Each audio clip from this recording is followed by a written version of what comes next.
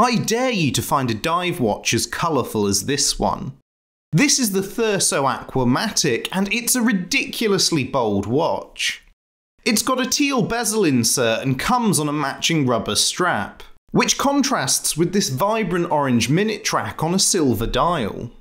The hands and markers are a deep navy blue and are filled with mint green lume. The second's hand is white with a coral pink Farer logo at its tip. And last but not least, the bezel pip is a lighter orange. That means the Thurso has 8 colours on it, which is why,